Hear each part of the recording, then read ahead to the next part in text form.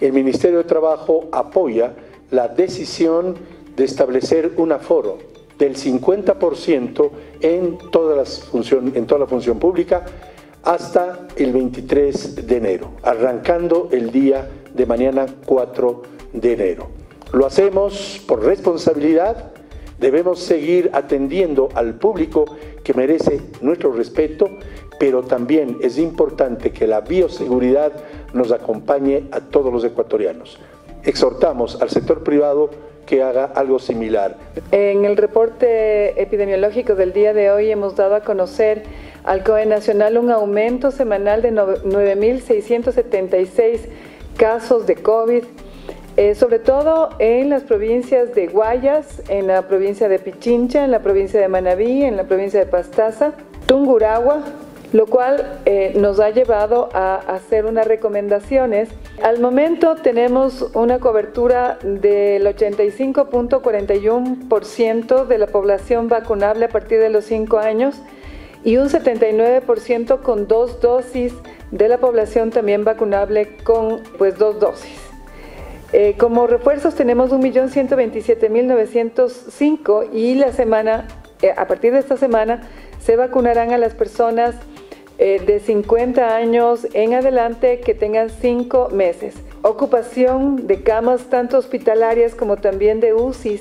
en las zonas 3, en la zona 4,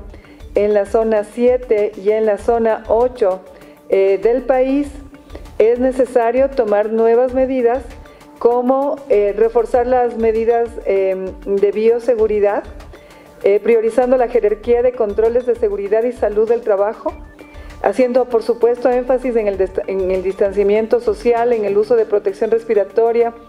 en el cubrirse cuando uno tose con el codo, la higiene y desinfección también de manos, el mantener las áreas ventiladas.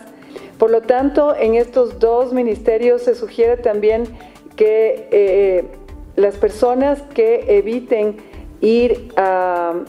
al, trabajo presencial, es decir, que, hagan, que se haga una priorización de teletrabajo, aquellas personas que tengan enfermedades eh, agravantes que puedan complicarse cuando una persona se contagia de COVID.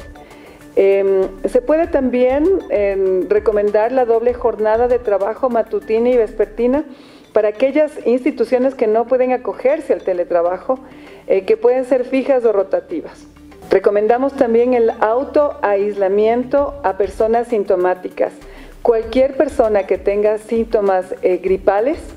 que tenga congestión nasal, eh, malestar general, tos, dolor de cabeza, fiebre,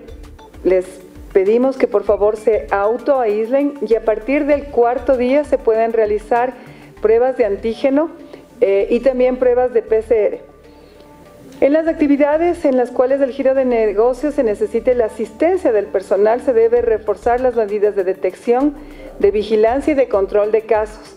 Eh, se debe, por supuesto, verificar el esquema completo de vacunación frente a la COVID-19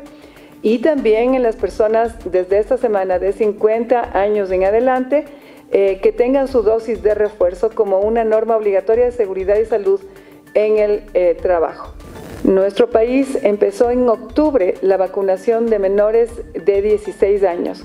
Justamente el estrato de edad que menos vacunación tiene al momento en el Ecuador son niños entre 5 y 17 años. Por lo tanto, pedimos a los padres de familia que acudan a los centros de vacunación y que hagan poner a sus niños la segunda dosis o la primera si es que no la han recibido.